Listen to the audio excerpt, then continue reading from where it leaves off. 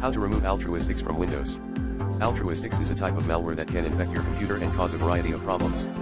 If you think your computer is infected with Altruistics, you can uninstall it using the following steps. Open the control panel. Click on Programs and Features.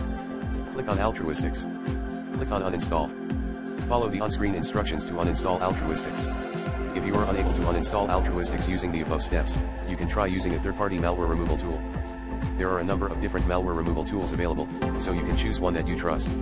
Once you have uninstalled Altruistics, you should scan your computer for other types of malware. You can do this using your antivirus software or a third-party malware scanner.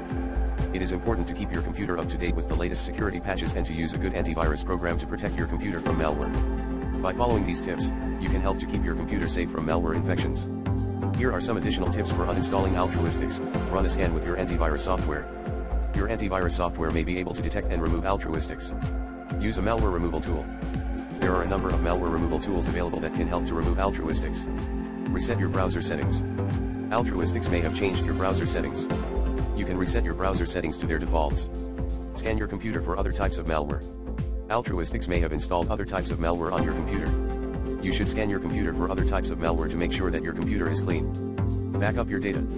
It is always a good idea to back up your data regularly. This way, if your computer does get infected with malware, you can restore your data from a backup.